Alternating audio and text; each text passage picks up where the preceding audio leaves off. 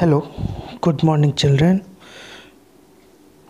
Welcome to the online classes of computer standard 4.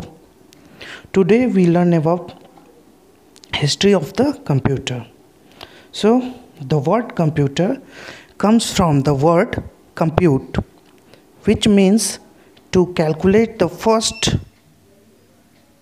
computer where in fact, people whose job was to perform long and difficult calculation all day long. But these calculation used to make a long time and also led to many careless mistake. So scientists started searching for simpler, faster and more accurate ways of doing calculation and finally Many years later, the computer was invented. Computers, as we see them today, were not invented in one go. There were other stages in between. So, let us learn about this fascinating journey. First is abacus. An abacus was the first mechanical calculating machine that was used to count large numbers and do arithmetics.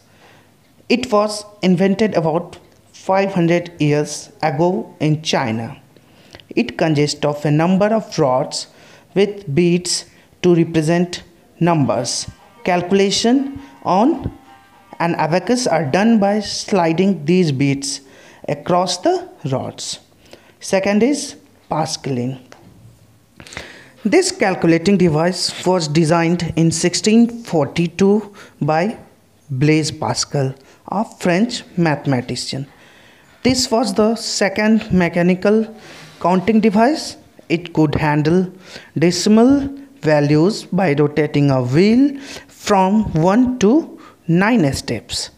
The picture here shows an 8 digit Pascaline. The dials of this machine worked just like a telephone dial. So the third is tabulating machine. Hermann Hollerith, a German American mathematician, invented the tabulating machine in 1890. This was an electrical device which could read data, process it, and then give accurate result.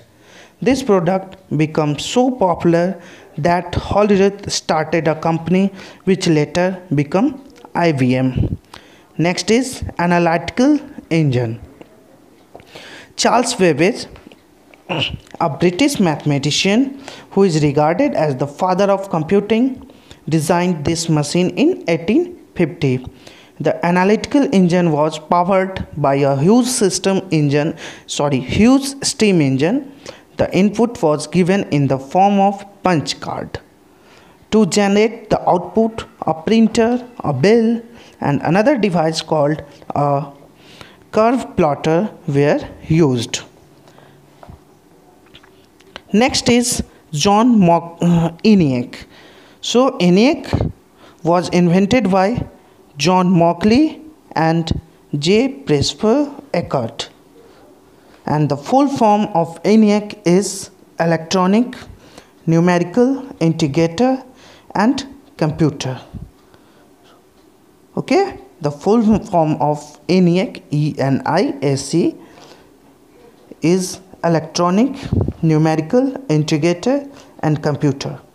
Once again full form of ENIAC is E for electronic and for numerical I for integrator and uh, C for computer, electronic numerical integrator and computer. So the ENIAC used decimal digits instead of binary digit. It was the first high-speed electronic digital computer.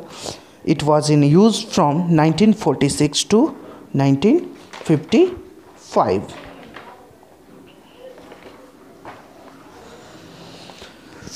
Development of the computer. So that was the history of computer and next is development of the computer. The development of the computer took place in various stages called generation. Okay you know about the generation of computer. But if you know we learn about one by one.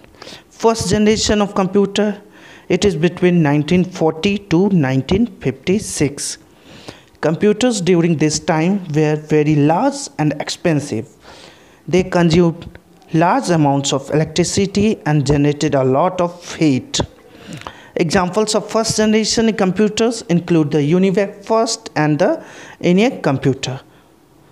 So, UNIVAC first refers to Universal Automatic Computer. UNIVAC first is refers to Universal Automatic Computer. Means it is uh, Universal Automatic Computer. It was the first commercial computer produced in the USA. The computer used vacuum tubes and magnetic drums. So first generation computer used vacuum tubes and magnetic drums. Vacuum tubes were used for calculation as well as to control and store information. Vacuum tubes are not so successful because they would heat up and get damaged. So magnetic tapes and magnetic drums replaced vacuum tubes a magnetic drum is a cylinder shaped metal coated with a chemical on which data can be stored. This was this is the first generation of computer. Next is the second generation of computer. It was Uh, in 1956 to 1963.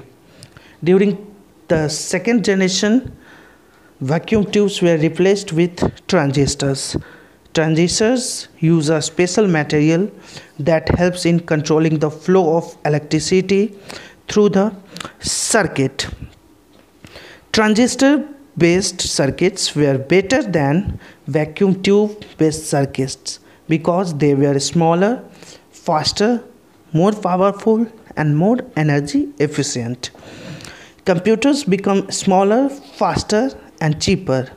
They used less energy so it was possible to do programming on these computers. Computers of this generation were mainly used in the atomic energy industry.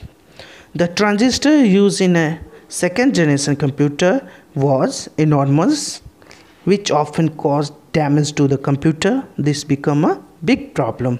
So this is the second generation of computer. It Next, third generation computer. It was in 1964 to 1971. Integrated circuit were developed at this stage.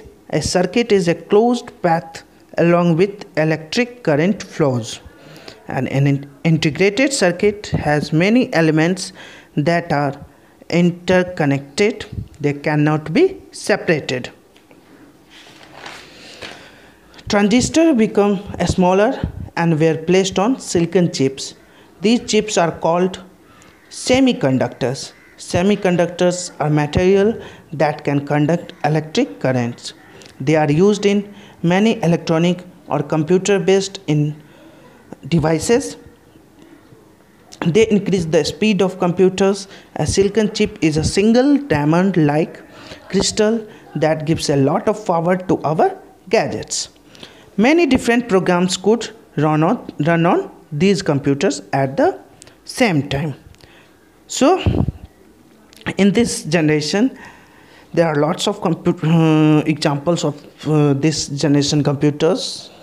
That means fourth generation computers, desktop computers, laptop computers, and palm top computers. Okay. Next is fourth generation computer that is 1971 to onwards. These computers are still in use and are being further developed. Microprocessor chips were developed during this stage. A microprocessor is a device that uses data in its digital form as input. Then it processes this input according to the instruction already stored in it and gives the result as an output. 0 and 1 are coded to do arithmetical operations. These are known as binary numbers. Some computers of this generation are very small. They can fit into the palm of the hand. These computers are fast and efficient and were widely used. The mouse and other handheld devices, such as the joystick, were developed during this stage. Computers can be linked together in a network to share information with each other. This has also led to the development of the internet. Fourth generation computers are more powerful, reliable and affordable than earlier generation. Computer of this generation use real-time multi-programming operating system. They have been used for remote processing and time sharing. The next is fifth generation computer. These computers are still being developed. They have very high storage capacity, speed and efficiency. Computers of this generation are often called supercomputer. A supercomputer has many central processing units connected together and can carry out a large number of scientific operations in very little time.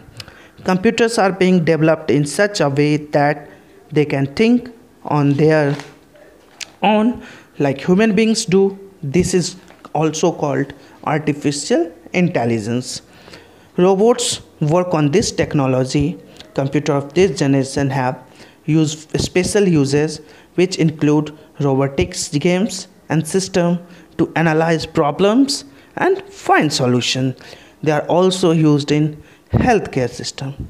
So today we learn about the history of computers and the development of computers. So today the class is ended and